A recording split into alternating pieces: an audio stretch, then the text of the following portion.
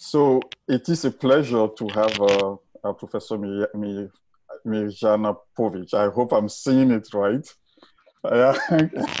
From the look, I know I didn't. Uh, but uh, uh, but uh, yeah, so it's really a pleasure. I, uh, I, I have to say that um, thank you very much for for for, for joining us. So I won't say very much. I will let you introduce yourself uh, to to to uh, our uh, students and and alumni, and then we take it from there. Okay, good. thank you very much, Ketevi. Um, and um, uh, i have to say that I'm really happy to be here with uh, all of you. Um, and uh, I would like to uh, give my thanks uh, to to you, Ketevi, and all organizers of this series of lectures. I think it's really good for our students um, and at least in this way, we can uh, beat, uh, establish the very first uh, contact since unfortunately the school didn't happen this year, you know, but yeah, hopefully next year we will be able to, to do it. Um, so uh, my field of research is in extragalactic astronomy. So I'm currently, um, an astrophysicist originally from Serbia. Uh, and um, uh, I did my PhD in uh, Spain at Canary Islands at the Institute of Astrophysics of Canarias. Uh, and uh, after Spain, uh, I worked for about one year in South Africa. Then I moved again to Spain for about seven years. And then the last four years, I've been working in Ethiopia as an assistant professor at Ethiopian Space Science and Technology Institute um, uh, mainly focusing in research on, uh, as I said, extragalactic astronomy field uh, broadly, but in particular on um, um, a study of the physics behind uh, active galaxies and nuclear activity in galaxies um, and uh, also uh, dealing a lot with the morphological classification of galaxies, the morphological properties of galaxies, star formation, and also properties of galaxies in galaxy clusters. Uh, beside that, uh, um, I have to say that uh, also Africa is really my my big passion. Beside astronomy and um, uh, I've been uh, collaborating with different uh, countries over the past 10 years and um, really one of my um, um, inspirations and I would say motivations is uh, that jointly we can uh, really work on development of education and uh, science in Africa so that hopefully in the future we can uh, decrease the huge differences that we are still facing between the northern part of the hemisphere and southern part, and in particular um, uh, to improve different challenges that we, we have across uh, Africa. Uh, so uh, I think uh, next week Eli will focus his talk on active galaxies. So in um, in collaboration with him, I decided to focus today's talk and tomorrow's talk on a bit giving you the introduction to actually extragalactic astronomy and uh, uh, in particular um, uh, focusing on the diverse world that we have regarding galaxies. so yeah, I didn't mention that also beside working at um, in Ethiopia currently, I'm also attached still as an associate researcher at the Institute of Astrophysics of Andalusia in Spain. And thanks to that, uh, we really established uh, strong collaborations between Ethiopia and, uh, and Spain through different uh, projects. Um, so this is a bit uh, the uh, content of the, the two lectures. so as I said, it's a bit the very introductory course of extragalactic astronomy. So today, in the first part, we will a bit go through the concept of the galaxies and the concept of what deep surveys are and multi-wavelength data and how both uh, deep surveys multi-wavelength data really uh, contributed to important development uh, in our knowledge uh, about uh, galaxies and in all the field of extragalactic astronomy. Then we will go a bit through the types of the galaxies and we will see that there are different actually classification um, schemes that we can use. And then uh, in more particular, we will focus on the properties of different morphological types, going through the properties of elliptical, spiral, uh, irregular galaxies, and so on. Um, and we will see also why morphological classification of galaxies is important and uh, also how we can classify galaxies uh, both in a more nearby universe and more distant universe. And uh, finally, if we are still left with, time, uh, we will uh, briefly go through the main relations or scaling relations that uh, we have in the world of galaxies. And if we don't, I hope that we will at least be able to start uh, uh, that part and then uh, continue maybe tomorrow. And then tomorrow we will um, uh, go through the galaxy mergers interactions, uh, the properties of uh, galaxies that have strong star formation going on, briefly about active galaxies and AGN, because as I said, although it's my field of research, I think Ellie will speak more about it. Uh, and then uh, also we will uh, see a bit um, the properties of galaxies in galaxy groups and clusters and briefly the principal models that we have about galaxy formation and evolution. So um, uh, Ketevi, is it, uh, shall I go through the lecture uh, or people can ask questions and interrupt me in the, in the middle? What do you suggest? I think uh, which one do you prefer? Normally, yeah, they can. If there are questions on the chat, I can I can relay them to you, or the people who wants to who raise their hands, they can ask you questions uh, along the way. Okay, I, I don't think uh, while I'm uh, speaking, I don't think I will be able to follow the uh, the. I will chat. follow the chat. I will follow. Uh, so then either you can either people can just interrupt or maybe we can uh, maybe it's easier to just leave it for the end. Okay fine. Yeah that okay. sounds good okay. So just uh, uh, take the take the notes along the the lecture Sure. Okay, so the, the very first, uh, uh, uh, I discussed with Ketevi a bit uh, what is the, the level of uh, participants uh, and I got the information that the level is quite diverse. so people are in general from physics background, but not necessarily from astronomy. Um, so uh, the, the first uh, slides are actually quite uh, basic. It's just uh, uh, to put us uh, in the place where we really are when we speak about extragalactic astronomy. So we have actually different components in the universe and the scales. So we will just remind ourselves a bit about that and then also the fields of the, the study that we have in astrophysics. So this is a bit a simplified image uh, where we can go from the uh, components that are, let's say, at uh, uh, smaller scales uh, from us. Uh, and uh, the part of the universe that is more known to us, uh, starting from our Earth and solar system, and then going further and further. So um, you know that beside the solar system, we nowadays have many other planetary systems that have been detected. Uh, and uh, and found uh, and uh, uh, those planets uh, out of our solar system we call extrasolar planets. So it's really a very hot topic currently in astrophysics, especially the question of the search for the life. So it's a bit the field of planetary sciences that are dealing with all the properties of the planets, small bodies, satellites, and so on. Um, and then uh, um, uh, sun is another uh, source that is really fundamental for us, as you know. And we have solar physics that is uh, focused on studying the properties of the sun, how the sun generates uh, energy, how the sun has been formed, how it will evolve, what will be the fate of the sun, and so on and so on.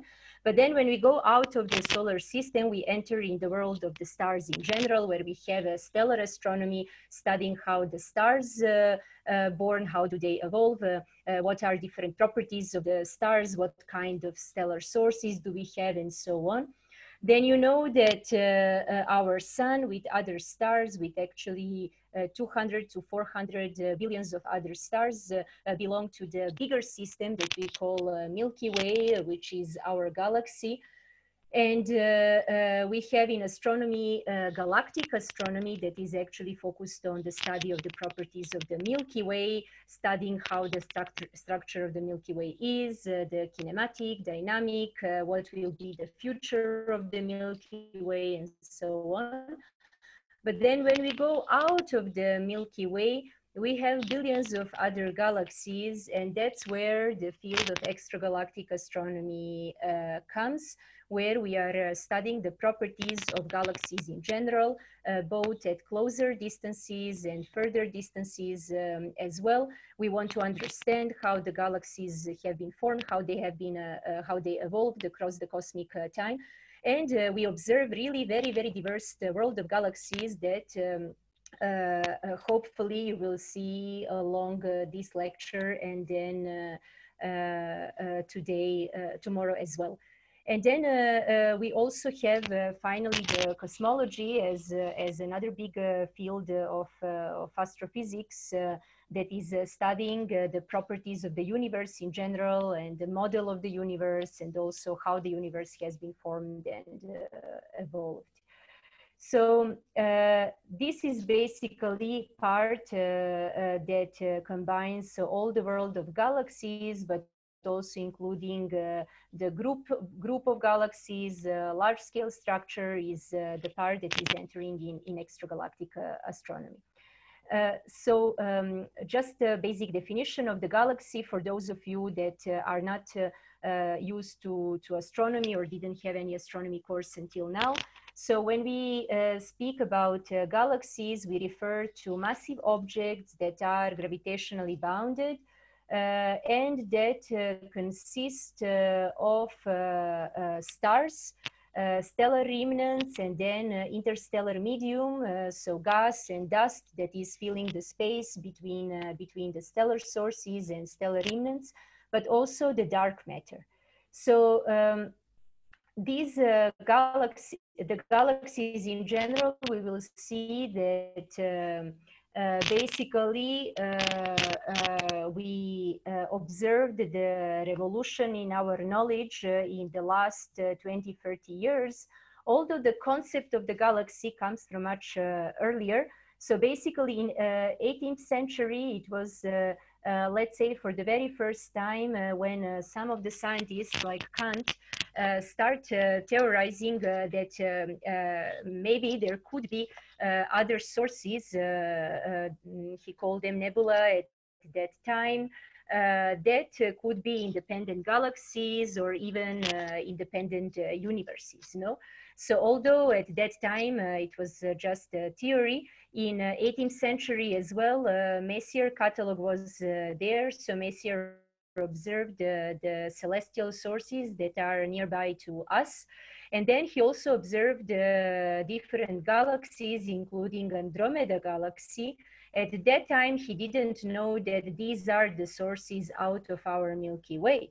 Uh, but it was one of important points um, uh, because it was one of the very first, uh, let's say, more complete uh, catalogs of uh, uh, the sources with observed sources nearby us.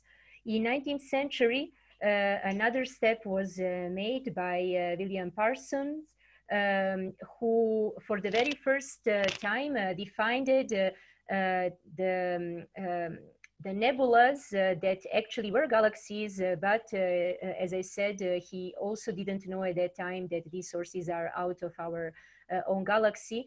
But he separated them into taking into account their shape into more elliptical and more spiral nebulas. And actually, it was only in the 20th century, at the beginning of 20th century, when for the very first time, uh, it's been uh, uh, uh, detected, it's been found that there are other galaxies out of our own. So basically many of those sources that have been previously observed, it's been seen that they are separate sources, that there are other galaxies and not sources uh, or nebulas within our own Milky Way. So Hubble in that aspect made a huge contribution to astronomy by studying the variable stars, uh, Cepheids, uh, and then the, the relation between the period of these uh, stars and, uh, and then the, um, the, the distance as well.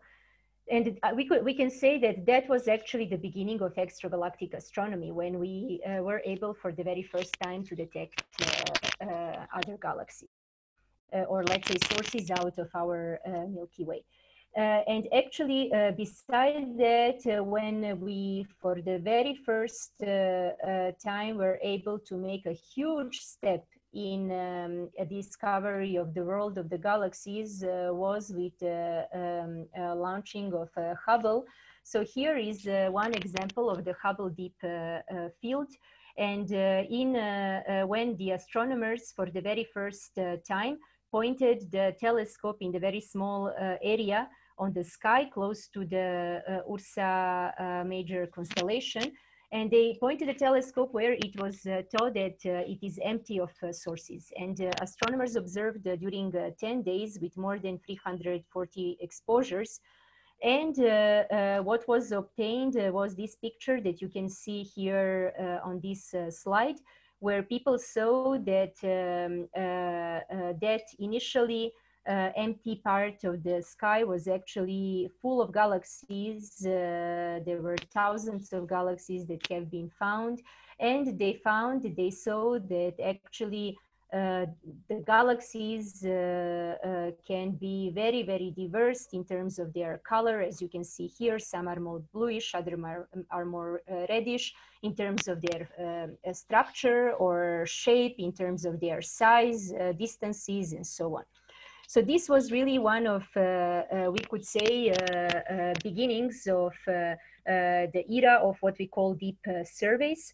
And then the um, explosion in the knowledge of extragalactic astronomy. So with the deep surveys, we mean exactly how the Hubble Deep Field was observed. So observing during a long exposure time, smaller parts of the, of the sky so that you can go basically deeper in the universe and detect uh, fainter and fainter uh, sources.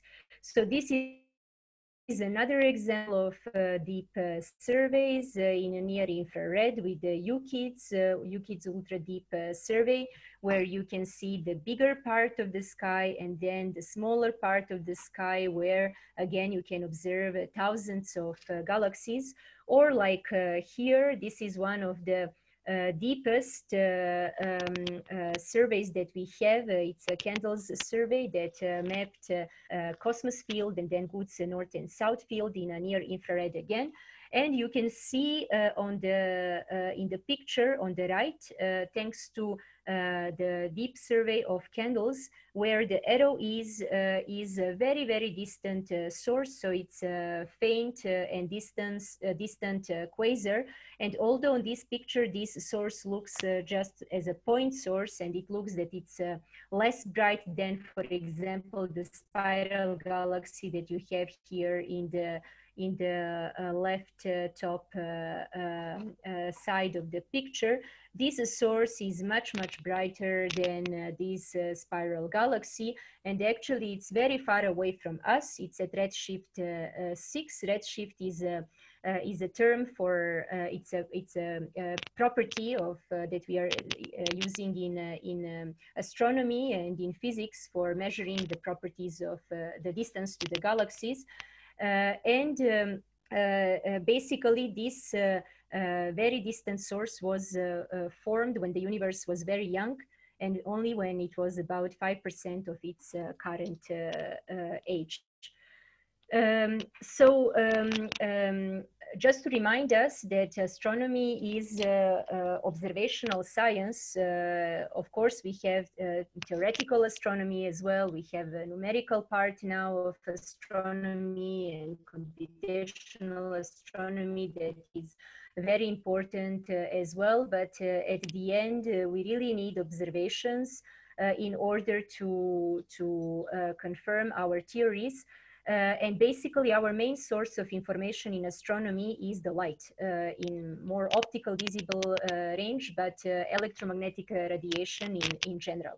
So basically uh, all the, the universe that we are studying and what is happening currently, what happened in the past, what will happen in the future, we use by studying the electromagnetic radiation. So we cannot Uh, here I put the note, we cannot per perform uh, in astronomy the experiments directly because we are dealing with very huge distances and we also have problems with time because since the sources are very far away from us and you know that the light since the light is our main uh, source of information and you know that the light is uh, uh, traveling with limited uh, speed so it needs time to reach us so that means that when we are observing very far uh, galaxies, very distant galaxies, we are actually observing how the universe was in past. So we observe uh, uh, how uh, if we have, for example, galaxy that is at redshift 2, which that we detect at redshift 2,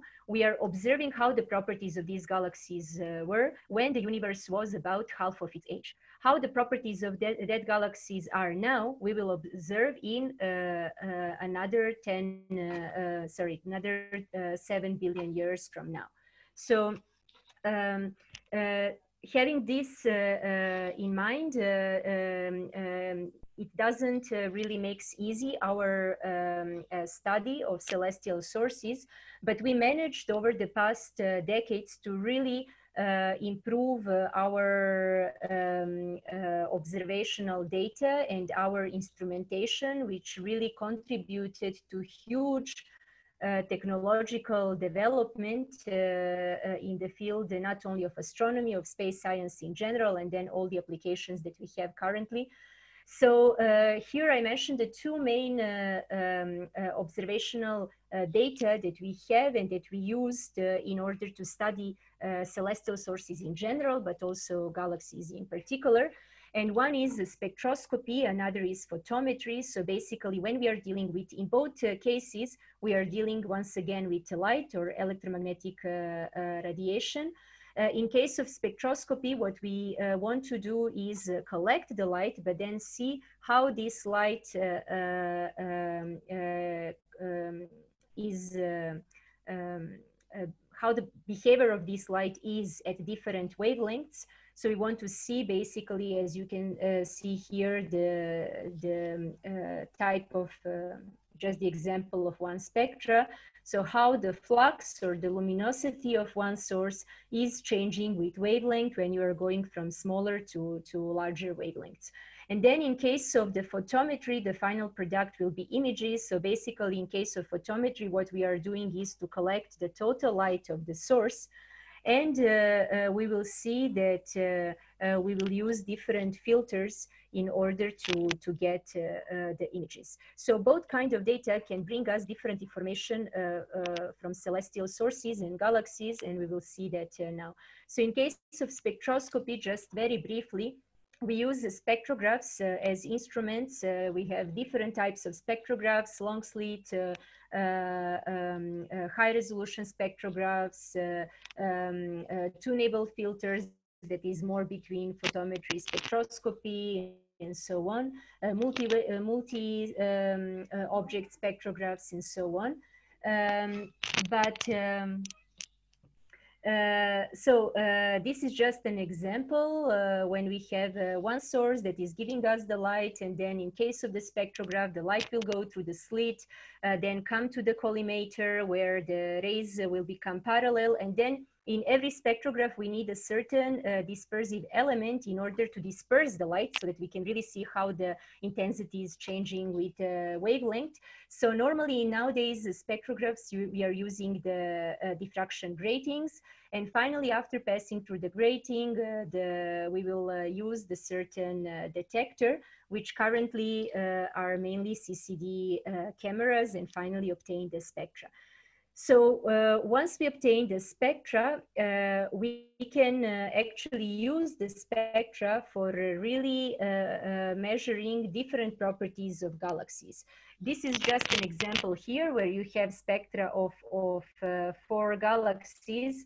and you can see that one of the first things that we can do is galaxy classification using spectroscopy.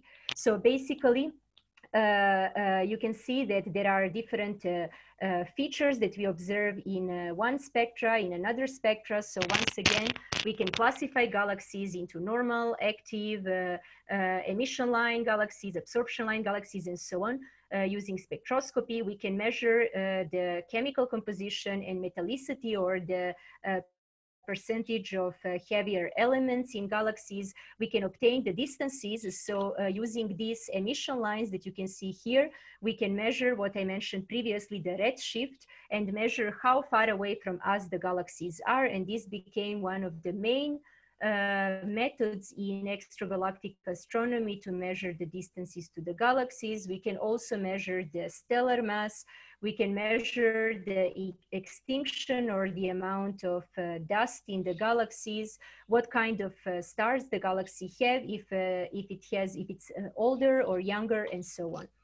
Then in the case of uh, photometry, instead of uh, uh, spectrograph, uh, so we are, so we have the, the normally nowadays reflectors are the type of, types of the telescopes that, that we are using. And then for the instrument, after the light going through the reflector, uh, we will um, uh, use different uh, photometric bands or filters, which means that we are passing only the certain amount of um, uh, light that corresponds to the certain uh, wavelengths. And after that, uh, we will again use the CCD cameras to obtain the uh, images. So um, this is just an example of different uh, photometric systems or filters that we can use. This is in Sloan Digital Sky Survey, the five filters, basic filters that we have. It's one of the most common, um, uh, most uh, um, famous surveys that we have in astronomy, at least in the nearby or low redshift universe. And you can see that the, this is the same part of the sky uh, observed in different filters. So you can see that we are actually using different filters, getting different information of the galaxies. So we are basically uh, observing a different stellar uh, component uh, when we are going from U filters that is more in blue part of the spectrum to the Z filter that is more in the red part of the spectrum. Or for example, in Alhambra uh, survey where uh, instead of uh, five, like in Sloan, we have 23 more narrow bands. And again, you can see as you are going from one filter from blue uh, part uh, of the spectrum up to the near infrared, how the stellar component uh, is uh, changing for two different uh, kinds, the um, spiral galaxies in, uh, on the left and elliptical galaxy on the right. So basically, uh, once we obtain the, the images in photometry, we can again use these images for object classification, especially for the morphology. In order to get the most precise information about morphology, we really need photometric data. From spectroscopy, we can get intuition about morphology as well, but uh, uh, photometric data are really fundamental ones, uh, a fundamental one for, for understanding how the shape of the galaxy and the structure of the galaxy is. We can also deal with the size, something that we cannot really obtain from uh, our spectra. We can also measure distances. We can use uh, photometric information, especially if we have many bands like in Alhambra survey to measure photometric redshift and then also the stellar mass. And the most important, we use photometry for measuring the brightness of the sources. So different brightness properties, uh, parameters like, uh, uh like uh, magnitudes, flux, luminosity, uh, or colors. Uh, so this is uh, just again to remind us that uh, um, um, the previous two that I mentioned, spectroscopy, photometry, although in this lecture we will more focus on optical part, but uh, we shall not uh, forget that electromagnetic radiation is something that is very, very broad. Uh, and that uh, when we are dealing with uh, information coming from galaxies, we are basically dealing with properties um, going from gamma rays up to radio. And this is just a brief reminder for you that uh, uh, all properties of the uh, electromagnetic radiation will change as you're going from gamma rays from radio. In terms of the temperature going from, as you can see here, billions of or tens of billions of Kelvin up to only few Kelvins. In terms of the wavelength and then uh, uh, in terms also of the uh, frequency and, and energy which means that uh, we are basically also dealing with very different properties, uh, physical reactions, and uh, different uh, uh, state of the matter. So in gamma rays, X-rays, we basically are dealing with fully ionized uh, matter. And then when you go to the radio and as you're going through the um, visible up to the infrared and radio, we are able to obtain the matter more in even atomic or molecular state. So uh, using uh, different part of uh, studying different parts of electromagnetic radiation coming from from galaxies and all celestial sources we then develop different parts of uh, uh, astronomy. So going from radio astronomy up to the gamma ray astronomy. And each of these is actually uh, uh, important for really understanding fully the properties of galaxies.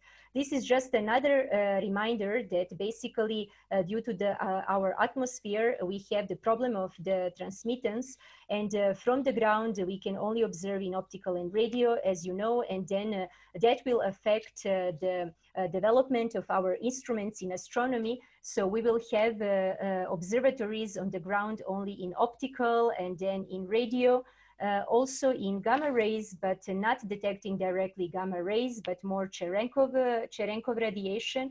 But then in other parts of electromagnetic radiation, like in gamma rays, X-rays, uh, uh, most of the ultraviolet and then infrared plus microwaves, we really need to send our instruments to the space. So here, uh, why uh, observing galaxies uh, at different wavelengths uh, is uh, important. Uh, we will try to see through a few examples. this is example of one spiral galaxy. And if I uh, ask you, uh, what do you uh, what do you think if the source here on the top um, left is the same one as the top at the bottom right? Uh, uh, you will probably say if you don't really um, uh, have any information, just looking, just using visually the image, we will say that these are two different sources. However, uh, this is the same source that you can see here, but observed at different parts of electromagnetic um, uh, spectrum, from X-rays up to the radio. And we can see that actually uh, for the same spiral galaxy that we see it as a spiral when we go to the visible range, um, either using uh, more uh, ultraviolet um, bands or, or more infrared bands, uh, in X-rays, we basically don't get any information about the spiral structure of the galaxy, but what we do see is very, very strong, uh, the central part of the galaxy where we have the supermassive black hole, and we uh, uh obtain a very, very strong radiation from the near areas, uh, near uh, regions of the supermassive black hole. And then we also see very strong different stellar sources that are uh, that have strong emission in X-rays, such as supernovas or X-ray binaries, uh, or uh, uh, or even gamma ray bursts. Uh, when you go to the ultraviolet, we will see very strong emission coming from exactly the spiral arms because in ultraviolet, we will see the emission coming from the very young stars and massive stars that are emitting in ultraviolet. And then as you are coming closer to the uh, going through the visible and coming to the near infrared uh, uh, part, we will see uh, different stellar components going from younger stars, again in bluer bands, toward the older stars in, in redder bands. And then when you come to the far infrared, we will see the emission actually coming from the very hot dust dust that is fulfilling the space between the galaxies and that is uh, emitting in, uh, in um, uh, infrared. And finally, in radio, we will see the emission coming from the very, very cold uh, materials, such as uh, the, the molecular clouds. This is another example of another uh, spiral galaxy, the Whirlpool galaxy, that is a bit uh, reflecting the same uh, uh picture and with a bit more of, of details. so basically, um, uh, from this that is uh, a bit uh, normal galaxy, how we see it uh, through the uh, electromagnetic radiation uh, spectrum. we can go to another example of one active galaxy where on the left, sorry, on the right, you can see three images observed in X-rays, radio, and optical. And this is the, these are the three images of the same source of the Centaurus A galaxy that is the nearby uh, the nearest active galaxy that we have to our Milky Way. And you can see that these three images on the right are very different. And again, we are from each image, we are getting very different information. From X-ray image, we will get again the information from the AGN, so from the very central part of, uh, of the galaxy, uh, and uh, the information coming from the hot corona around the accretion disk, uh, from the radio, we will observe the very strong radio jet with all these radio lobes, something that we will not be able to see at all when you go to the optical. And in optical, we will be able to see the host galaxy of the, uh, the AGN or the active galactic nuclei with also all these um, uh, dust lanes. So basically, we can say that the uh, image of Centaurus A, the, the total, the composite image is the one that is uh, on, uh, on the left. And this is how our galaxy looks like. Um, uh, so if we look, if we only observe in optical or in X-ray or in radio, we will lose a very important part of the galaxy that then can affect uh, uh, the interpretation of different properties that we are observing about this galaxy. So uh, this, with all of this, I want to um, show that multi-wavelength observations in astronomy, especially in extragalactic astronomy, are really fundamental and they really, really um, uh, uh, are the, um, the as I said, the fundamental ones in order to, to understand fully the physics behind uh, uh, different uh, celestial sources that we are observing. So basically, when we put together the deep surveys that I mentioned previously and then the multi-wavelength data, we can say that thanks to the two, we really managed to understand uh, uh, much better uh, the world of the galaxies over the past few decades. And both of them uh, uh, were really crucial for getting more uh, the information about the formation and evolution of galaxies. So basically now I will go more through what the classification of galaxies um, are. with how much time I'm left? Um, let me see where where we are right now. So yeah, with about uh, yeah, I I think half an hour, no? Yeah, yeah, yeah. So I think you have another uh, 20, 25 minutes. Okay, okay. Then we go into the uh, question so, and answer part, but it depends on how many questions we have as well. So Okay, okay, good. Um, so I will I will try to uh, go through. So um, uh, when we come to the classification of galaxies, uh, actually uh, we are Uh, coming to the very complex uh, field because uh, we can use different criteria uh, for um, classifying galaxies in terms either of their properties or also on the type of the data that we are using. Uh, such as X-rays or radio or infrared data and so on.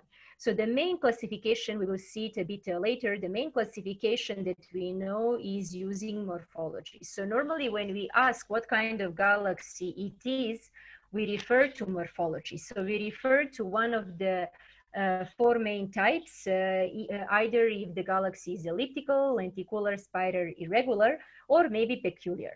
But also beside uh, this, uh, we do have different other classifications using, for example, size, where we have all the range of uh, galaxies uh, from dwarf galaxies to giant galaxies, where, as you can see here, uh, the, the sizes of galaxies uh, can be very, very different from only few or tens of kiloparsecs up to even one, two megaparsecs. Uh, then uh, we can also classify galaxies using uh, the nuclear activity or having the presence or absence of uh, active galactic nuclei that we will hear about, about it more tomorrow. And we can uh, classify galaxies into normal or inactive, non-AGN or non-active, and then active galaxies, or very often we just call them AGN. Then uh, we can also classify galaxies in terms of uh, how strong star formation is going on. So if we have just normal galaxies or we have more intense star formation, uh, such as in uh, starburst uh, galaxies. Then also mass is another parameter. So we do have uh, those galaxies that we call massive or low mass galaxies. Then in terms of the distance, so redshift, so we can divide galaxies into um, low redshift into nearby galaxies or local galaxies, uh, low redshift galaxies, intermediate, high redshift galaxies, and so on. Then in terms of the infrared luminosities, uh, we have galaxies that are uh, uh luminous in uh, infrared or normal, uh, where the limit of 10 to 11 solar luminosities in far infrared is used as, as um, as a, as a limit, as I said. Uh, but then we can also have uh, ultraluminous infrared galaxies, uh, hyperluminous, or even um, uh, extreme luminous infrared uh, galaxies. And we will uh, go more into the details of these galaxies tomorrow. Environment is another important property uh, or parameter and uh, we can we will see tomorrow the galaxies can be in very different environments going through the um, uh, interactions, mergers, but also they can be totally isolated. Uh, they can be in pairs, they can be in groups, they can be in clusters and so on. Then in terms of colors, we also see galaxies that are more reddish or bluish. And we will see a bit uh, later, hopefully, that we have those galaxies that we have a red sequence, blue cloud galaxies, green valley galaxies. And then also we can use spectroscopic properties and then detect emission line galaxies or Lyman break galaxies or uh, absorption line galaxies and so on. So as you can see, there is really, really um, a very um, uh, large uh, range of, uh, of classifications. And many of them uh, are also um, uh, connected. So basically, I will now go through the main part of the classification of, of, galaxies that is focused on the morphology. And one of the principal um, classification diagrams that we are using is coming from Hubble, and uh, uh, I will actually focus uh, now the most of the what is left of the lecture on the morphological properties and types of galaxies. And we will see that it is really fundamental for, for astronomy. So this is a bit what we call the Hubble sequence. And uh, Hubble uh, basically at the beginning of uh, past century uh, separated all galaxies into four main uh, types uh, using simply their structure or their shape. So we have galaxies that are having more spheroidal or ellipsoidal structure and then those galaxies that we call ellipticals, and then those galaxies that are ha that have more uh, what we uh, what we call a spiral uh, structure that we call spiral galaxies, and then we have other two types. Uh, one are the intermediate galaxies uh, between elliptical and spirals that we call lenticular galaxies that are actually more similar to to uh, in many properties to elliptical than to spiral galaxies, and then we also have irregular galaxies that have very very um, irregular irregular shapes. So um, in more broad classification, uh, we basically classify these four main types into two groups. Those that we call early type galaxies and uh, those that we call late type galaxies. In the first one where we have elliptical and lenticular galaxies included and then in the second one where we have spirals and irregulars. And why do we call them early type, late type? Uh, we will, and why morphology is so important? It's important because we really can connect morphology with many, many other uh, parameters. Um, uh, and uh, we will uh, we will see that just in in now in in a moment. But when we call them, when we say early and late type galaxies, from this terminology, you can also conclude or intuit, uh, have the intuition that uh, morphology is also related with uh, age. So basically, early type galaxies are the oldest galaxies that we observe in the universe, while late type galaxies uh, are um, younger galaxies uh, that we have in, in universe in terms of, of their age. So this is just a brief summary about the main components that we observe in galaxies. So the principal components that we have that then we use for uh, describing the structure of the galaxy is the, the nucleus or the very central part of, uh, of the galaxy. Uh, then the bulge, that is again the very, very central part of the galaxy with a very strong concentration of the stars. And it's also the oldest part of the galaxy where we find the oldest stars. And then we can have or not, depending on the type of the galaxy, the galactic uh, disk. And then if we are having a disk, inside the disk, we can uh, observe different uh, structures or components like spiral arms, and sometimes we can observe the nuclear bar as well in one part of uh, spiral galaxies. And then also we have the galactic uh, uh, halo. But beside this, we can also have observe different other components, not in all galaxies, but in different, uh, uh, in some of the galaxies, such as uh, different filaments, Mm, of uh, star formation, uh, the, the rings of star formation, the relativistic jets that we observe in radio, as I mentioned previously, and so on. So basically, uh, why we should care about morphology, uh, uh, once again, because it is really one of the key elements in order to study the galaxy formation and evolution. And this is one of the main questions that we have in extragalactic astronomy. So one of the main questions is to really understand how the galaxies form and how the galaxies evolve. So the galaxies, as all uh, other celestial sources in the universe, are in a constant change. So at some point they will bo uh, be born, they will go through their life, going through different phases, and then finally they will uh, they will die. So the question uh, really how galaxies form and evolve in order to understand, we really have to um, understand the morphological uh, properties. And we will see that uh, morphological properties are really connected with many other properties of galaxies. This is just uh, one of the examples. I will go through this diagram a bit later. So this is a diagram when we observe um, uh, the color in relation to the uh, stellar mass. Uh, of the galaxy. So the color, when we say color, we basically compare two different uh, brightness parameters of the galaxy observed in two different photometric uh, filters. So more in blue part and then in red part of the, the spectrum. And then we will be able to see if the galaxies are more bluish or more reddish, which will tell us actually about what kind of stars the galaxies uh, have. If they're more bluish, they will have more younger stars. If they're more reddish, they will have in general more um, uh, older stars. But we will see a bit later that also it is not uh, so trivial. We can have other components uh, inside the galaxy that can also contribute to the color of, of, the, uh, of the final colors, such as, for example, the distribution and the amount of dust, or the absence uh, and presence of, of the, the AGN in the center of the galaxy. So basically, to come back, the morphology is related with uh, uh, many other properties. So here we can uh, see that it's related with the color, then it's related also with the stellar mass, but also with the luminosity and absolute magnitude. So most of the uh, galaxies uh, uh, that are early types, so either elliptical or lenticular, are having more reddish colors, and then most of the spiral galaxy will be more blue. Not all, but the, the big majority. Then in terms of the stellar mass, also we see the differences. We know that the most, most uh, massive uh, galaxies are actually elliptical galaxies.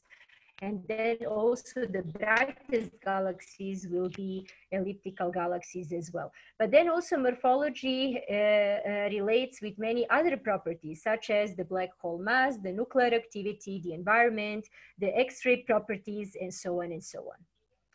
So uh, now I will go uh, uh, through some of the um, uh, basic types, uh, uh, the properties of the main four main morphological types that, that I mentioned. so one are the the first are elliptical galaxies, and um, uh, we will see that uh, um, uh, here you have you can see the different uh, types of elliptical galaxies uh, depending on uh, their ellipticity. We can separate them between E0, those that are more spherical in their shape, up to the E7 that are more ellipsoidal. Uh, in general, as you can see here, uh, elliptical galaxies have um, uh, or show little structure. they have very, very strong uh, bulge, but they uh, basically don't have disk or have very poor uh, disk. But we don't observe the spiral arms nuclear bar as we will see in uh, spiral galaxies. So at the beginning, uh, um, uh, it was thought that elliptical galaxies have very small or basically don't have at all uh, the, the amounts of interstellar mediums, so gas and dust that, I, as I said, is fulfilling the space between the galaxies. But nowadays, especially using uh, radio data, uh, it's been seen uh, that uh, uh, we do have also gas and dust, but in much lower amount, amount than in the case of spiral galaxies. Then normally, um, in case of elliptical galaxies, um, uh, uh, um, due to the models, we know that many of them are actually, if not all, are formed through the galaxy mergers and interactions. We will see that even more tomorrow. Then uh, these galaxies uh, uh, don't form uh, stars very much. So they have very low star formation activity.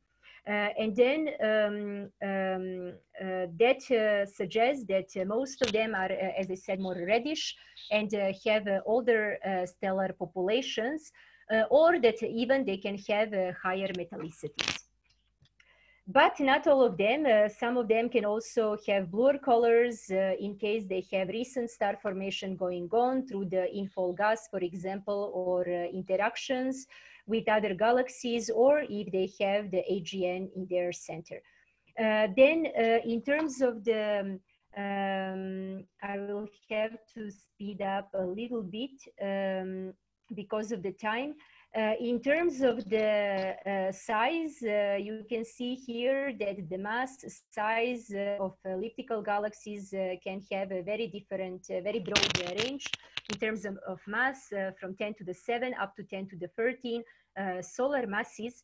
And then they can have different sizes. On this picture on the, on the right, you can see the in the center, the giant elliptical galaxy, and then on the bottom, uh, on the right, uh, the dwarf elliptical galaxy, and you can compare uh, how big uh, can be the difference in the sizes between the two elliptical galaxies, the, the dwarf ones and then the um, uh, uh, giant elliptical galaxies.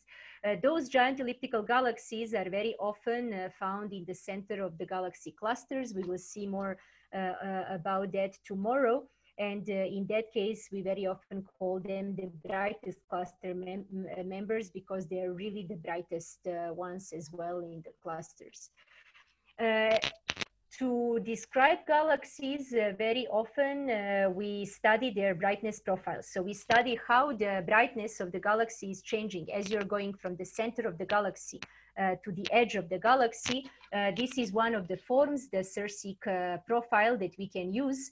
And it's been seen that the elliptical galaxies, because they have a very strong bulge, um, can uh, basically be fitted uh, very well with the Vaucouleurs law, uh, which is basically the Sersic law with this index, Sersic index equal to four.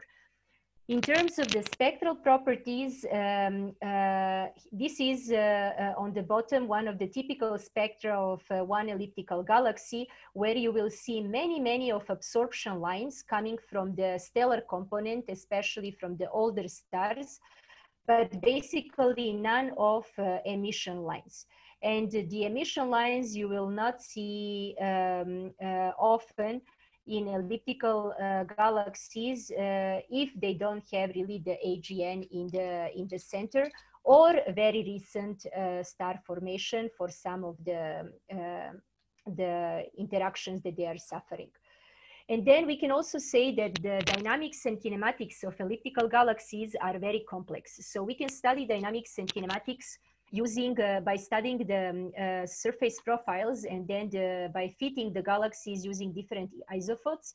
The isophotes basically, as you can see on this image uh, uh on the bottom of the plot, isophotes are uh, the um, the structures that we are we are using where each each isophote here has basically um, uh, the same um, uh, surface brightness. So uh, by studying the shape and the position of the isophotes, we can actually study the kinematic, uh, internal kinematics and dynamics uh, of, of galaxies. And we see that in case of elliptical galaxies, although they are very well uh, fitted with uh, uh, spherical or more ellipsoidal uh, isophotes, very often these isophotes can be twisted. And we observe the triaxial shape of, of the which means that internal, again, the internal kinematics dynamics of the stellar component that we have uh, uh, is uh, much more complex than what it looks like on our images. when we go to the spiral galaxies, to another big broad group, um, we can uh, do the classification in terms of two uh, basic, uh, two main things. One is the existence, the presence or not of this, the, the nuclear bar. So basically we have those galaxies that are spiral non-barred, where we just see the uh, spiral arms, but we don't see the nuclear bar in the middle. And those galaxies that are barred, that we that have the nuclear bar, so this structure that you can see that is coming from the central part, and that then at the end of the these uh, nuclear bars, the spiral arms uh, are coming. And then there is uh, uh, also the intermediate type that are that is something between um, uh, uh, the nuclear galaxies, spiral galaxies that do have and don't have uh, the nuclear bar. And then the other um, uh, uh, part that we are, the other property of spiral galaxies that we are using in order to separate, to classify them is uh, their size of the, the size of the, the bulge. So how strong the bulge is in comparison with the disk and then also how tight uh, the spiral arms are to the bulge. So basically taking all of this into account, we can separate galaxies into non-barred and barred, as I mentioned. But then we also have, as you can see here, all these letters that go from A up to D and uh, M uh, that are actually uh, focusing on the second point. So uh, in SA galaxies, we will have galaxies that are having a stronger bulge um, uh, and then uh, more tight spiral arms. And then as you're going from SA to the SD galaxies, uh, we have the spiral arms that are more open and then also the disk that is more uh, dominant in comparison with the bulge in terms of the, the luminosity. So um, what uh, are the other properties of spiral uh, galaxies? Uh, so basically in comparison now with elliptical, we uh, have the stellar populations that are much more diverse in uh, spiral galaxies. We have the bulge that is uh, more populated with older stars and then the disk that is populated with younger stars.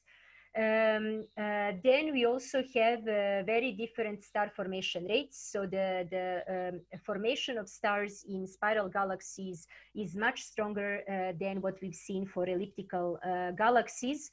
Um, then um, uh, in terms of the um, uh, clusters, we have more stellar open clusters uh, now present in the disk of the spiral galaxies than what we have in elliptical galaxies where uh, globular clusters were more dominant. Uh, the spiral arms uh, actually um, present basically the density waves. And these are the parts where we have most of the star formation going on.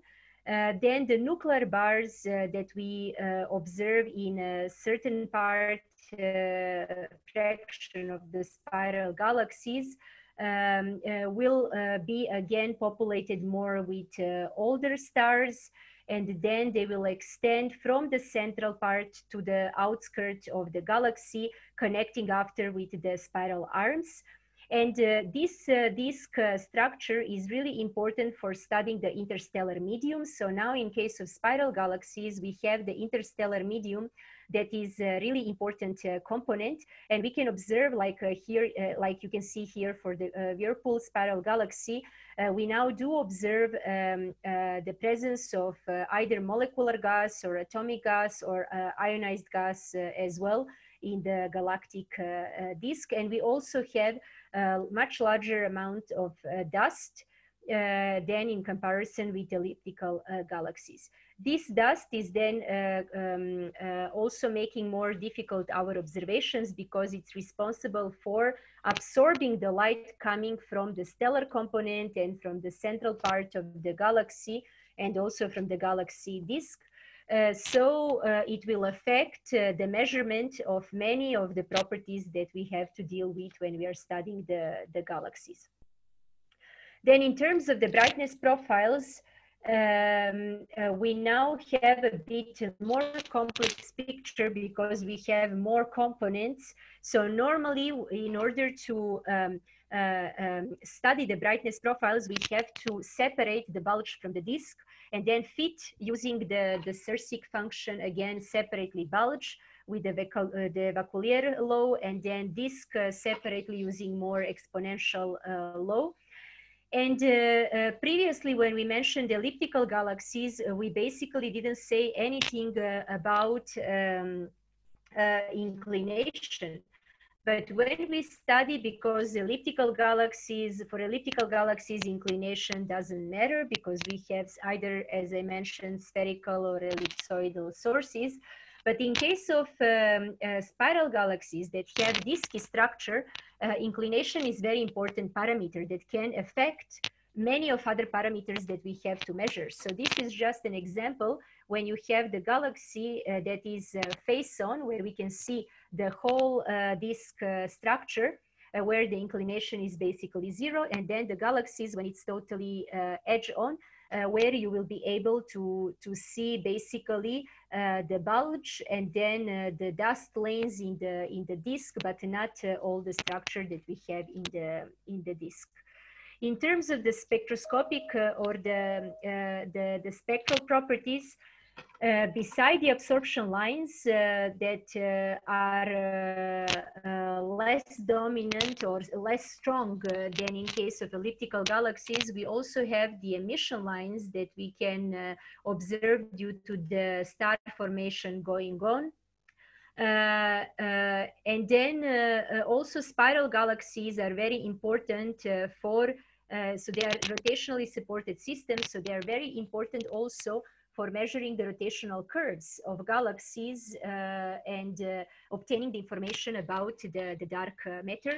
Um, so I can say more about it uh, also during the questions. Uh, I will just try to, so I think one hour is uh, left.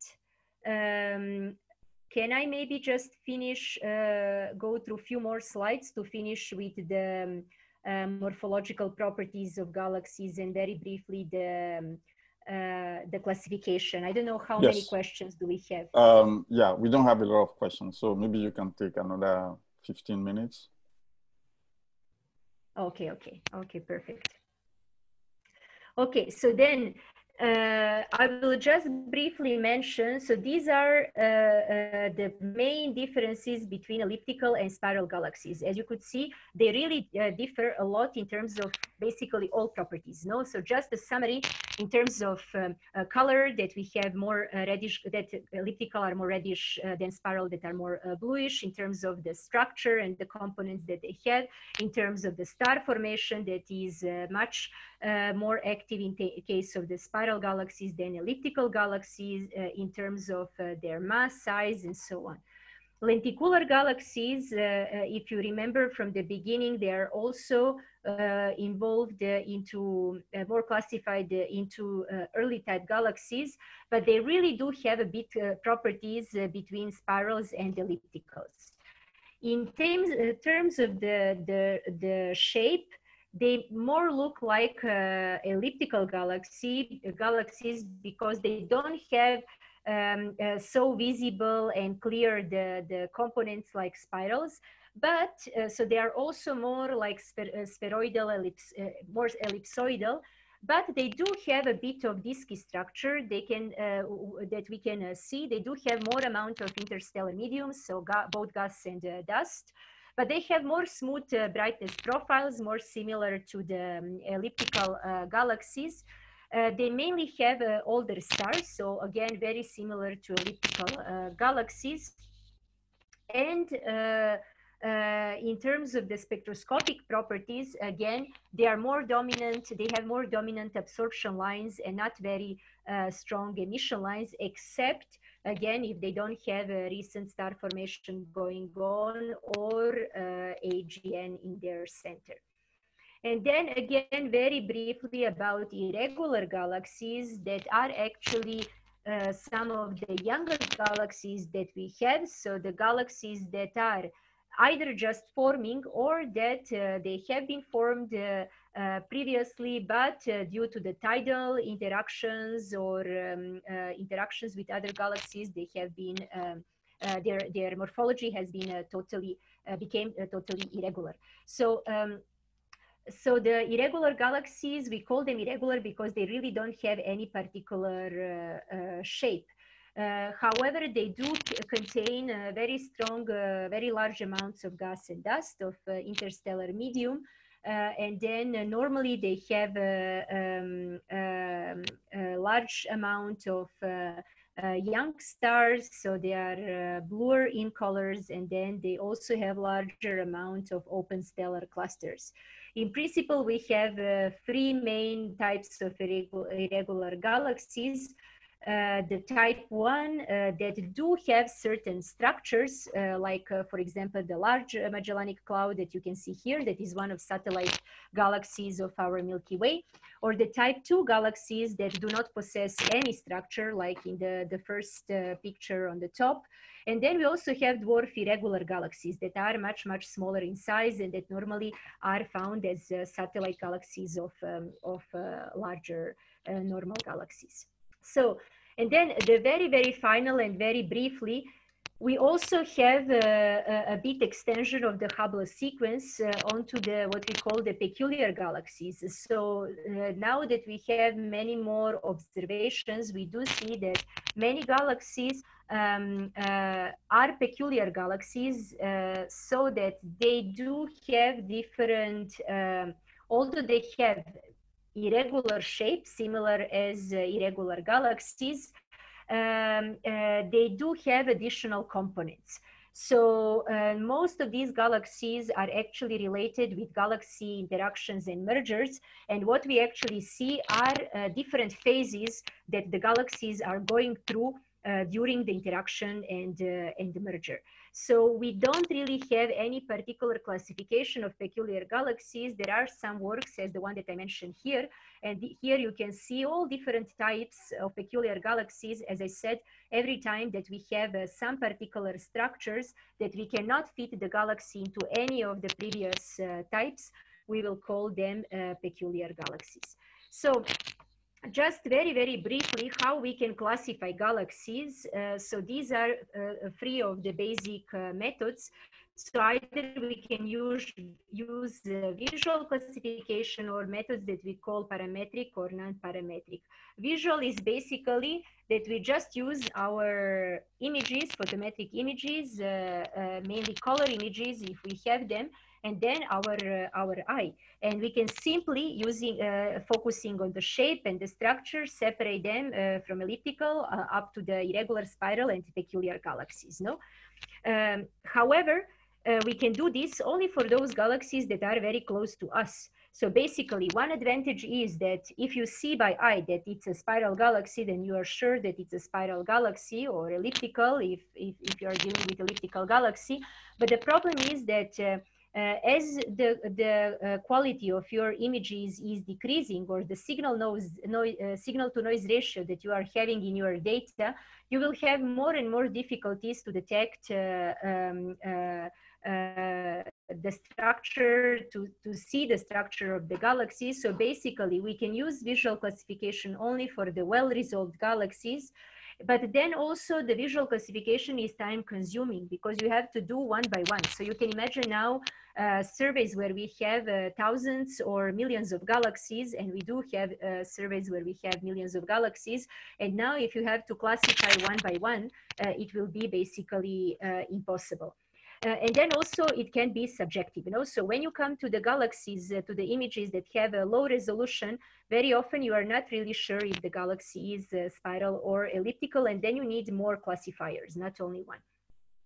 So another, uh, another possibility is that we uh, use uh, certain empirical laws that don't have anything to do with physical properties. So basically the brightness profiles that I mentioned previously.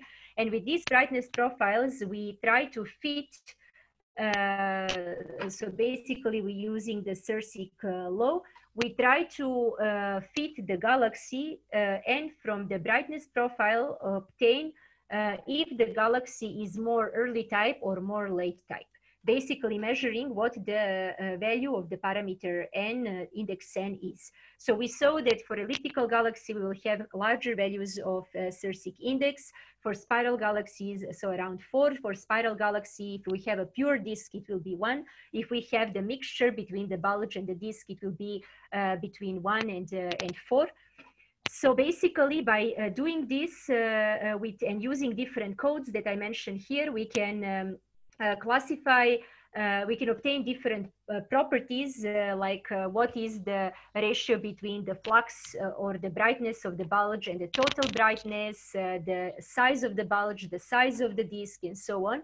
And then from that, refer what kind of morphological type do we have. So the advantage is that we get basically the detailed uh, structure analysis so we can uh, compare galaxies in a very detailed way. But on, on the other side again we need uh, uh high resolution images and also it can be time consuming in order to model well the, the galaxies.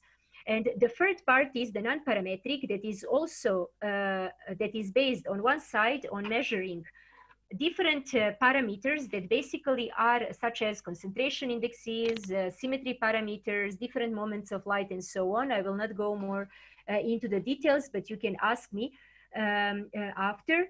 And uh, basically with these parameters, what we use in order to measure them are two things. Either how concentrated the light is uh, in the central part of the galaxy and how this concentration is changing along the, the galaxy as we go from the center to the outskirts. And then also, how is the shape of the galaxy? So how symmetric or asymmetric uh, the galaxy is. So basically, then depending on the range of the values that we obtain for different parameters, uh, we can classify galaxies between early types and uh, late type galaxies.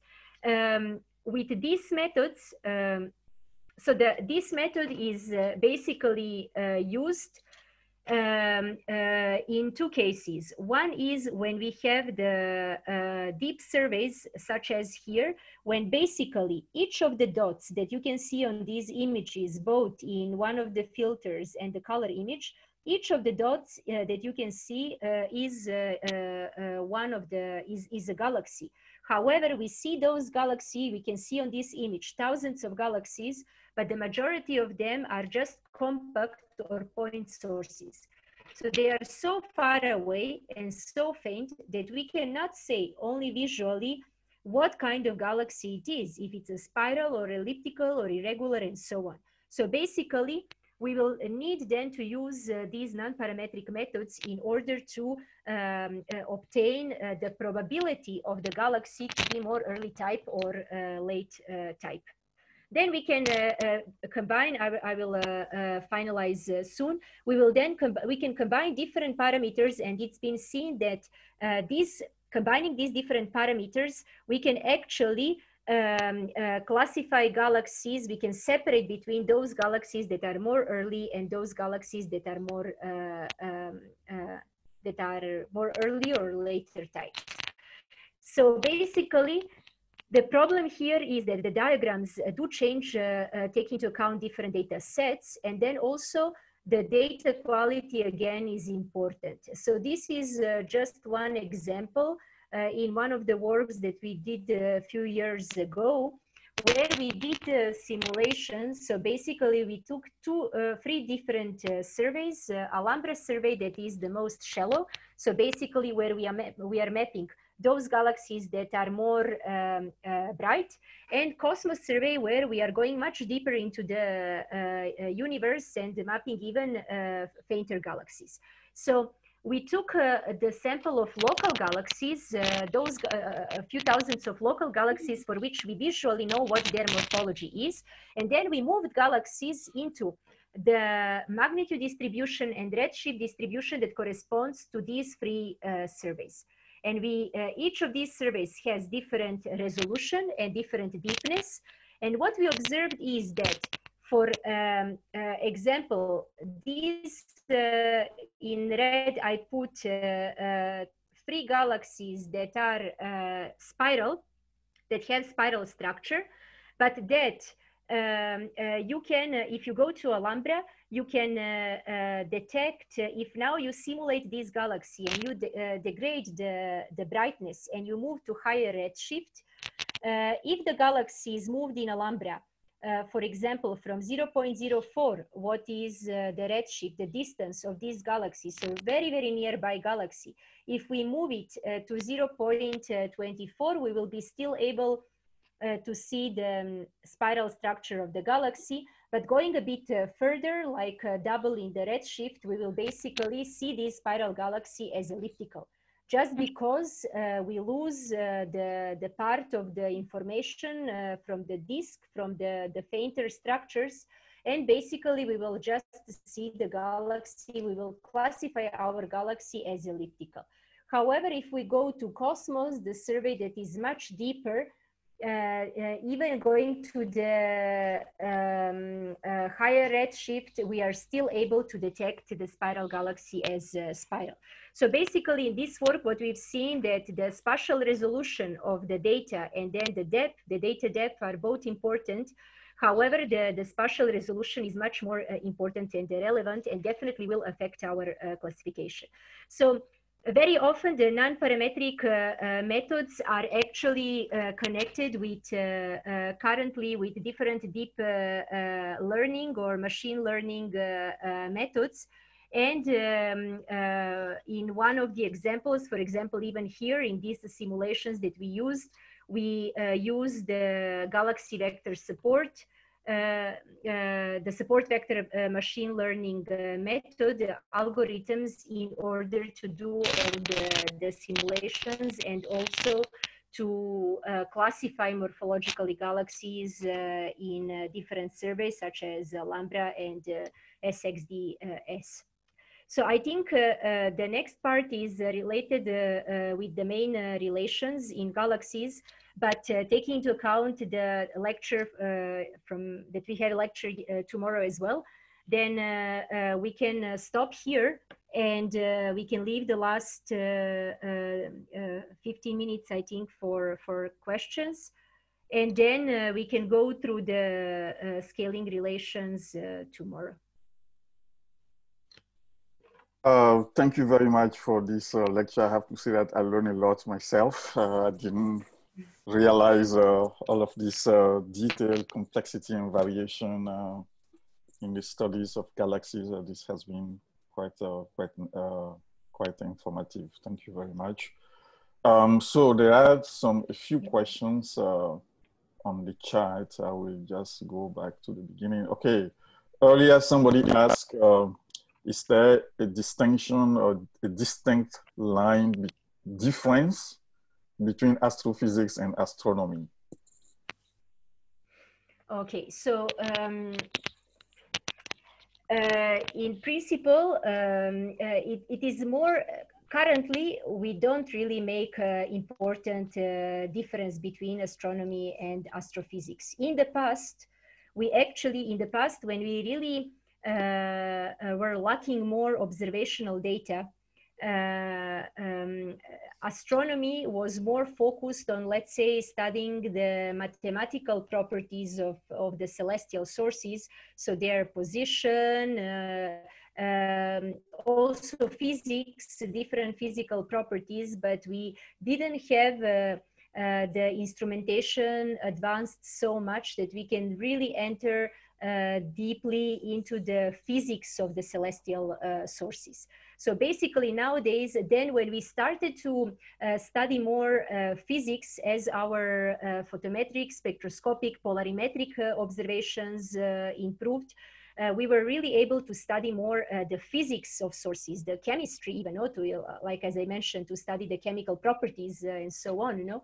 Um, so basically, we don't really nowadays uh, have a very, very uh, clear difference between astronomy and astrophysics. Astronomy, however, still is, I would say, much broader concept mm, than the astrophysics, no? But um, uh, basically it's more uh, for historical uh, historical reasons and then how the astronomy was developing that we are still sometimes calling it astronomy sometimes astrophysics sometimes we will have department of astronomy and astrophysics so it's it's a bit uh, it can be confusing but there is no really nowadays a big difference. Okay uh kola raised her, uh, his hand Kola, you can also ask your question that you have on the chat. Please go ahead. Yeah, I just raised my hand because like uh, the first question was kind of already answered. So, uh, uh so I, I, want, I wanted to find out um, since you said at the beginning of the talk that um, you, you can't really conduct experiments in astrophysics because the stuff that you're working with is very far and it's very large. How do you how do you then uh, validate validates your the methods that you use, like the like emission line spectra that you you use to uh, um, to to to to to determine the properties of different galaxies. If you're not able to, you you know, um, handle the galaxies, if that's the correct word, yeah. Um, so uh, these are exactly the, the data that I mentioned, uh, the uh, and the data products, uh, the images that we are getting uh, from photometric observations and then the spectra that we are getting from uh, spectroscopic observations uh, are really our, our proofs. I mean, uh, um, uh, these are really the, the direct, um, let's say, evidences known or, or, about what is really going on inside the galaxies and so far away from us the problem is then uh, how do you interpret uh, all the information and uh, and the knowledge you know that we managed uh, to really extend uh, amazingly over the past uh, decades. So using the spectra as i said i mean all the, the the methods in terms of analyzing spectra but also images in terms one important thing that i didn't mention when i mentioned the data is the data reduction. I mean, people who are doing astronomy uh, uh, know that um, uh, once you get your observations, uh, either images or spectra, you cannot, so first to observe your sources is one part of, of the, the job uh, in our science, but then once we get the data from our telescopes and instruments, we cannot use this data directly for doing uh, analysis and science. First, we have to do the data reduction because the data that we get are a mixture between the signal coming from, uh, from celestial sources, so stars and galaxies, and then the noise the noise that is coming uh, from the instrument, the noise that is coming from our atmosphere, the noise that can come from uh, side effects like cosmic rays uh, and uh, background and so on, you know? So uh, all of these, first we have to reduce the data, which means to eliminate all the noise or to minimize all the noise that is coming that is not coming from our celestial sources. And once we have our data reduced, we can actually start with doing uh, science and uh, analyzing the data. So uh, regarding the, the spectra in particular that you mentioned, uh, um, uh, nowadays, after so many decades of uh, analyzing spectra, we managed, it's, it's like a puzzle. So you, you start from from basically nothing and then uh, with all further uh, works uh, your knowledge will be extending so uh, regarding spectra of uh, of um, uh, stars and galaxies we already know because basically every single emission and absorption line will be related with a certain chemical element so a lot of uh, it that we use in astrophysics for chemical for studying the chemical composition uh, in uh, stars or galaxies, we actually um, use the knowledge coming from atomic physics, from nuclear physics, uh, atomic physics, from nuclear physics, and then also from our labs. So basically, we know that in nature, every single atom uh, and molecule is uh, unique.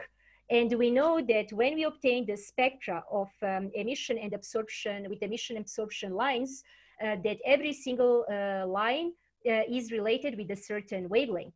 And uh, when I have uh, the certain, the, the line detected at a certain wavelength, I can know exactly to which chemical element that line corresponds because uh, the lines that we are observing will be related with the um, with the photons that are emitted due to the um, uh, change of the electrons uh, within the energetic levels. And we know from atomic physics that uh, each energy level in each atom has a unique uh, value and that that energy level, uh, energy of a particular um, difference between two energy levels is related with uh, um, the, the frequency or the wavelength.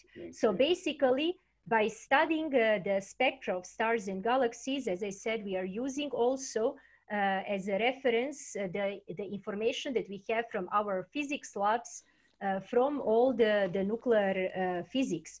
However, in astrophysics, we do extend that uh, knowledge, especially when you come to the field of molecules, for example, where uh, where we still have to improve our uh, knowledge and our methods of detection. So when you go to the uh, uh, part of uh, the molecular astrophysics, uh, we can in universe uh, detect many of the exotic molecules uh, that we we don't really know about them even here on the on the earth and that can really contribute to to our um, our knowledge not only in astrophysics but but in general. So i don't know if that make more clear your question yeah, I think the when you when you mentioned how you use um, the, um, nuclear physics and and, and other other fields um, to to to to determine properties of of of, of extragalactic galaxies, then yeah, that, that, really made sense to me. And then uh, there's one more question. It's related to galactic rotation rotation curves. Um, mm-hmm. how, how, how, how does how does your measurement of uh, properties of galaxies how is it how is it um, uh, affected by the presence of dark matter because i know that like you, you get phenomena um, with the presence of dark matter in in the universe where you have you, you have uh, what you call galactic lens um, gravitational lensing um, where photons photons emitted from a certain source are, are, are deflected by a large um, source of dark matter, and and then you, you get you get what you call um, Einstein rings. Mm-hmm. So get, how how does that affect your measurement of uh, different of different uh, of properties of galaxies? And if you do find like Einstein rings in the universe, then do, are you able to reconstruct the, the, the shape of those galaxies or like luminous um, um, mm. masses? Yes. So um, uh, it's again uh, quite a broad uh, topic, but I will try to to summarize, uh, taking into account the time. And I think uh, there are also I can see in chat uh, like 14 messages. So um, so basically. Um, um, what is what I mentioned regarding the spiral galaxies is their importance in order to uh, study the rotational curves and then to measure the amounts and the distribution also of the dark matter. So that was one of the uh, mm, the first uh, ways how we actually detected uh, the, the presence of dark matter that we still don't know what it really is.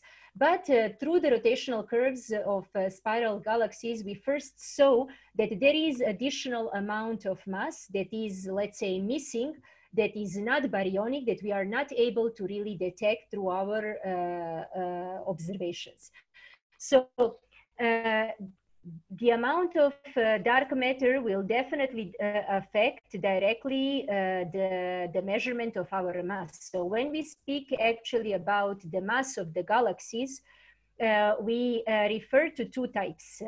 Uh, um, uh, we have the total mass of the galaxy, and then what we call the stellar mass of the galaxy, and then you can also say the uh, amount of the dark matter in the galaxy. You know? So these are, or the mass of the dark matter in the galaxy. So these are a, a bit the free concept that we are dealing with when we are speaking about the mass of the spiral galaxies, no, or, or, or galaxies in general.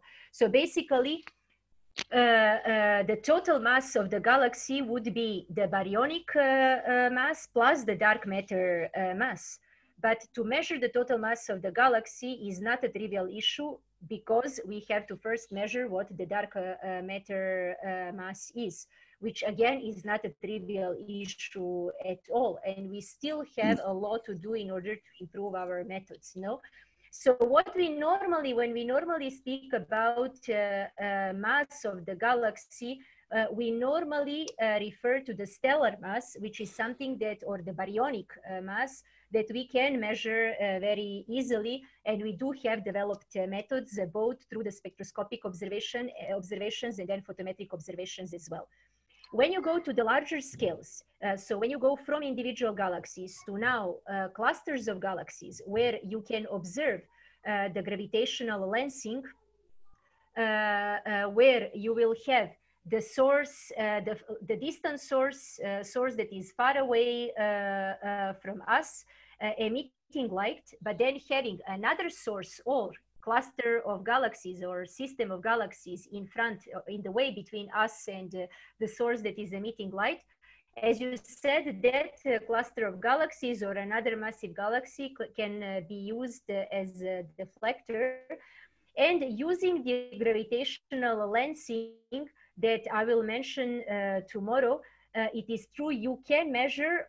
So on one side, you will have the gravitational lensing will be depending the strength of the, the, the, lensing, but also the shape of the lensing, because not always you, you can, you, you will have instant uh, ring. Sometimes you can just see the arcs. So the shape of the arcs, the distribution of the arcs, the, the strength of the arcs and so on will depend on many properties on the uh, light of the source that is emitting, uh, the distance of the source, the position of the source that is emitting depending on the deflector, but also the properties of the deflector. So you will measure for the deflector very easily what is the baryonic mass, but mm. then from the strength of the gravitational lensing, you can uh, measure what should be the total mass that the deflector has and the dis distribution of that total mass. So knowing the baryonic part uh, and knowing the from the gravitational lensing, as I said, the, the total mass and the distribution, you can then uh, uh, obtain the information about the amount of dark matter that you have within the system uh, or the so massive source and then the distribution of the dark matter. But it's a very painful work. I mean, it sounds easy, but actually it is not. And what we do is uh, we use numerical simulations. So because you are dealing with, as I said, so many parameters that are into the play that depend on both the deflect, deflector, but also the source that is emitting light. So uh, uh, dealing with so many uh, source parameters, you really need to deal with numerical simulations in order to finally see what the best fits your, your observational data. Um, so, um, Mirjana, you, I think you had some other engagement, or do you, you want to take another question, or should we leave the question for the rest for yes. tomorrow? Uh, Exactly. So maybe maybe another five minutes, uh, right. and then the other uh, questions we can maybe uh, leave for for tomorrow. Okay. So if there is any question that is so, more focused yeah. on, um, on, the content from uh, from today, and then uh, uh, if the others are focused, I'm saying because tomorrow, since we will continue with the scaling relations, AGN, and so on. Um, um, all right. So I think uh, who are the astrophysicists uh, in the audience uh, um, who want to? Um, all right. So Abdella, are you Meiki? Are you there? Can you talk? Uh, are you? Uh, yeah. Yeah. Please go ahead. Hello. Yeah. Uh, thank you very much for the lecture. It's really um, informative, and I learned a lot actually myself. If you can please um, tell us um, briefly about the Pulit, Pulit galaxy I hear about it, and I I, uh, I don't know I don't know much about it. Is it like About is what? it like Sorry? uh, the bullet bullet galaxy? Or bullet clusters. Uh, the, yeah, the bullet cluster or bullet galaxy. Do you hear Um, me? So i- yes, yes, I do hear you. But I think maybe it's better if we will you be tomorrow uh, on the lecture as well? Because tomorrow yeah. we will go through the so tomorrow we will go through the uh, groups and the clusters. So maybe it will be easier if I if I uh, come to the question uh, tomorrow. Okay, and one I'm, more I'm question, saying if just possible. because of uh, uh, because of other other questions. Okay, uh, sure. Or maybe Yes. Mirjana, you can pick the question you want to answer now Yeah. from the chat. Yes, I'm trying. Uh, okay, so for example, there is one question. What the different colors of the galaxies indicate about their properties? I think it's I think it's the same person from. Yeah, that was answered uh, essentially. Yes. Okay. Uh, wait. Um, So Meiki, so we come back to your question tomorrow, okay? Yeah, Okay, sure, uh, no problem. another Yeah. one is uh, the, okay, the last one uh, is more related with today. Uh, what is uh, dust uh, disk and how does, uh, does it help you to learn the properties of a galaxy? Okay, so, uh, uh, so the, the, the disk, I hope it uh, stayed clear what do we mean by the disk of the galaxy. Uh, no, I I don't know if, uh, Salai, do you want to connect? Hello? So, uh, Hello? Coach- Yeah, Hello. Okay, Hello. hello. So is it is it clear what uh, w- w- was it clear what the what do we mean by the disk of the galaxy? Um, can I explain? Um, it's my eight-year-old daughter that wants to know. your eight-year-old daughter. Okay, Okay. because she she's interested she what she's interested in astronomy so she's listening to the lesson and she had that question sorry Oh, okay, okay, great. that's nice. Okay, that's great. So I hope I hope it stayed clear what the galaxy disk is. So basically, in each galaxy, we have uh, uh, many many stars. Like in our Milky Way, we have between 200 to 400 uh, billions of stars. So the space between the stars is not empty. It is filled with the gas and dust that we call interstellar medium. Uh, that I mentioned previously, so dust, dust particles uh, uh, are one of the components of this interstellar medium. So basically we have really like dust particles that have different chemical composition uh, made of um, uh, uh, silicates, of uh, graphites, uh, uh, water molecules as well. But these dust particles are important in the galaxy, although they are they form a very small fraction of the total amount of the galaxy, they are important because they absorb the light. So when you have this uh, dust in the disk, for example, in the Milky Way, the Milky Way is a spiral galaxy, and we also do have the, the dust that is filling the space between the stars, like between our sun and other stars. So one of the uh, one of the things why we don't see because uh, our solar system in the Milky Way is not in the center of the Milky Way. We are located out of the center of the Milky Way. Hello. so the solar system uh, uh, is located out of the center of the Milky Way. So between the center of the Milky Way and the outskirts in one of these uh, spiral arms. So basically, the largest concentration of stars, billions and billions of stars, are concentrated in the central part of the galaxy, in what we call the bulge of our Milky Way. So basically, if there is no interstellar medium, if the space between the stars is empty, we would not be able to have night. When we look uh, toward the, the, the center of our galaxy, having billions of stars, all these stars will be shining so much that the night on the sky would not be possible, basically. And we would be able to observe directly to the center of our, uh, our galaxy. Why we don't see the center of our galaxy, uh, even when we take the optical images, is exactly because of the presence of dust. So these dust particles are important because they absorb the light.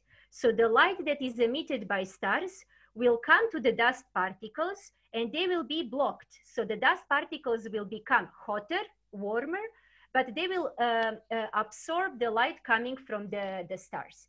So then when you have, when you now assume all the amount of dust in one galaxy, that means that this uh, dust can change the proper, the parameters that we are measuring. So for example, if we measure, if we want to measure the total luminosity or the brightness of one galaxy, we have to also know what is the amount of dust so that we know how much of light will be absorbed by that dust and then to add that amount of uh, light to the luminosity that we measure.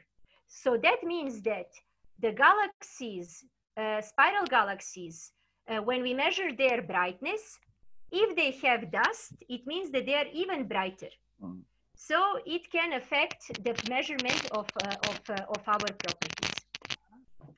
So that's, that's why the dust, uh, it's important to know uh, the properties of the dust, the distribution of the dust, the amount of dust uh, as well. And uh, I said uh, uh, uh, that the dust is related with the disk because the largest amount of dust we find in the galactic disk. Hmm. Great. Um, is that clear?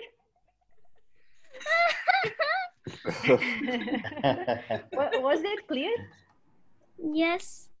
Yes? Okay, good. Oh, Stacy. Silly. okay, I'm glad. Excellent. she doesn't want to do physics, but she like astronomy. like astronomy. Very good. All right, so uh, Mirjana, so maybe we can stop for now and, and allow you to uh, attend to your other engagement, and then uh, we continue tomorrow. Uh, so for the people who are connected, tomorrow's lecture yeah. Is going to start earlier. It will be at 13 uh, Universal Time. Okay. okay. Uh, just uh, just uh, one question um, uh, to have a bit because for me it was really not uh, easy uh, to to see a bit what the level of the lecture should be, depending on the diversity of the the people, the background.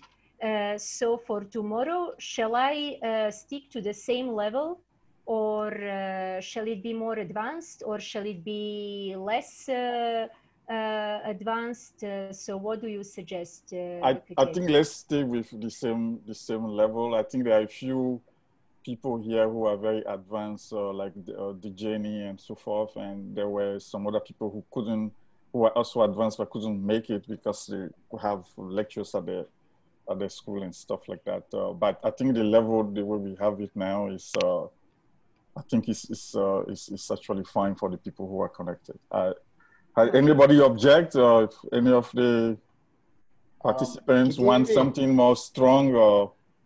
Yeah, Kitivi, I mean, it, it wouldn't harm if we, if we, if we, if we learn about a bit advanced uh, stuff. I mean, okay. Yeah. Fine. So, Mirjana, so I just propose that. I don't know. I I need to a bit a bit advanced. Okay. Need to see other people' opinion. Yeah. Okay. All right. And so, also we will we will try to prepare ourselves actually, and we will ask you like many many questions for tomorrow. Okay, that's great.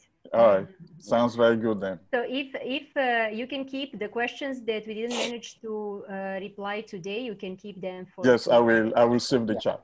Yeah. yeah. Okay, yeah. good. Okay, so a lot of people, a number of people say so. Some people say level is okay other people want a bit more advanced, so you can have a mixture. Yeah, just like to reflect the the the diverse level of participants. So so you can see yeah, now so the reaction. It's, yeah, it's a bit uh, yeah, it's it's diverse. Uh, yeah. Yeah. Okay, I will try to to mix uh, okay. the two. Yeah. yeah. Very good. good. Okay. Good. Yeah, thanks again very much. Uh, I hope we Thank didn't you. we didn't hold you up to for too long.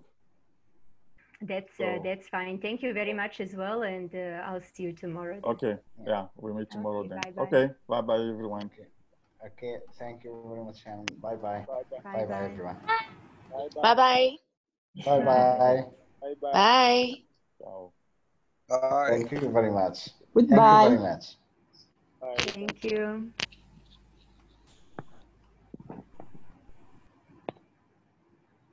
Thank you very much.